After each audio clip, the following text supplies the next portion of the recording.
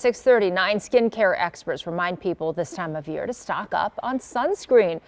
But with so many options, it can be overwhelming to know which offers the best protection for the best price. Consumer investigator Kristen Byrne shows us what to look for. Pamela Thompson loves catching some sun during her lunch break and knows the importance of using sunscreen. I do agree that it is very, very effective and needs to be mm-hmm. put on. Dahana Tenenfeld tries to use the strongest sunscreen she can find. Probably like maybe 45 Coppertone. Dermatologist Melissa Piliang says before you buy any sunscreen brand, check the label for three things.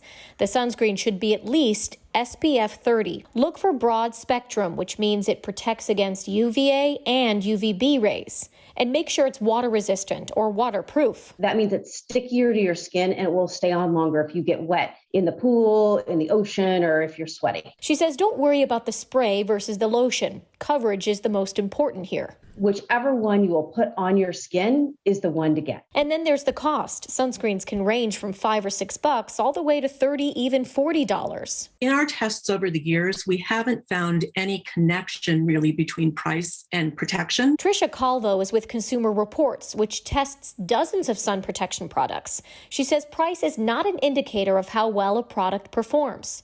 Take Walmart's Equate Ultra Sunscreen SPF 50. It's one of the highest performing lotions, but only costs about 5 bucks. If you're more inclined to buy natural sunscreen, Trisha says while they're better for the environment, they're not always better when it comes to protecting your skin. In our tests, we've never found a mineral based sunscreen that performs well enough to make the top of our ratings. I'm consumer investigator Kristen Byrne.